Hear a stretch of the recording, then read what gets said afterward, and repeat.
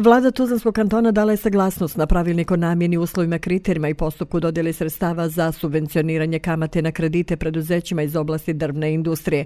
Ovim pravilnikom utvrđuje se namjena uslovi, kriteriji i postupak dodjeli sredstava za subvencioniranje kamate na kredite preduzećima iz oblasti drvne industrije i to kao pomoć u postizanju ekonomske samoodrživosti, posticaj novih investicija i razvoja, posticaj izvoza finalnih proizvoda od drveta, povećanje ukupnog prihoda i posticaj domaće proizvodnje. Usvojena je informacija o trenutnom stanju robnih rezervi Tuzlanskog kantona te donesen plan potrebnih robnih rezervi kantona za period 2017-2019 godina i plan potrebnih robnih rezervi u oblasti lijekova i sanitetskog materijala.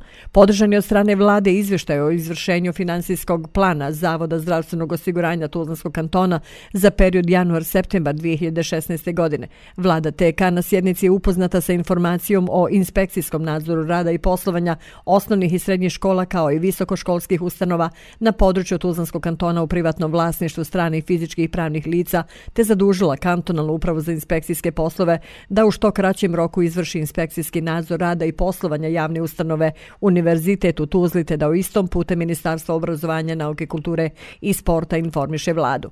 Uz navedeno donesena je odluka o rokovima izmirenja obaveza transakcijskog računa budžeta TK prema posebnim podračunima u okviru jedinstvenog računa Trezora Tuzlanskog kantona.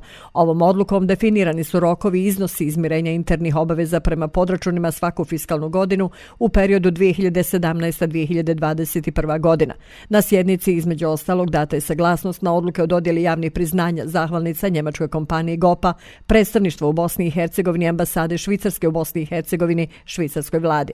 Zahvalnice se dodjeljuju za doprnost u reformskom procesu finansijskoj i edukativnoj podršci javne ustanove služba za zapošljavanje i biroa za zapošljavanje na području TK te provedbu projekta zapošljavanja mladi. Saglasnost je data i na odluku Ministarstva za poljoprivredu, vodoprivredu i šumarstvo kojim se odobrava 19.511,98 konvertibilnih maraka za finansiranje troškova izgradnja vodovoda polja mjesna zajednica Gornja i Donja Višća, općina Živinice. Zatim saglasnost na više odluka Ministarstva za boračka pitanja o odobravanju sredstava za sufinansiranje troškova izgradnje spomen obilježja poginulim pripadnicima oružanih snaga Republike Bosne i Hercegovine, mjesnim zajednicama Babići, općina Gračanica, Berkovica, općina Lukavac, Bukva, općina Gradača Sladna, općina Srebrenik, te općinama Dobo, Isto, Kladanje, Teočak, odobreno je ukupno 47.750 konvertibilnih maraka.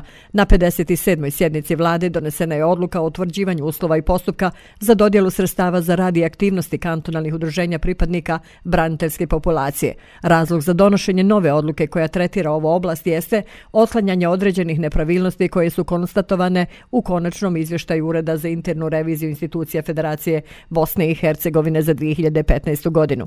I informacija o radu Osijeka za saobraćajnu edukaciju Ministarstva obrazovanja, nauke, kulture i sporta Tuzlanskog kantona dobila je podršku vlade. Vlada TK odobrila je unutrašnju preraspodjelu planiranih rashoda u budžetu Tuzlanskog kantona za 2016. godinu između budžetskih korisnika u dijelu budžetskih sredstava u iznosu od 22.350 konvertibilnih maraka. Ova sredstva potrebna su obzirom da se u jednoj kalendarskoj, odnosno budžetskoj godini prelamaju dvije školske godine, pa je s tim u vezi došlo do promjene broja učenika koji imaju pravo na subvencioniranje prijevoza.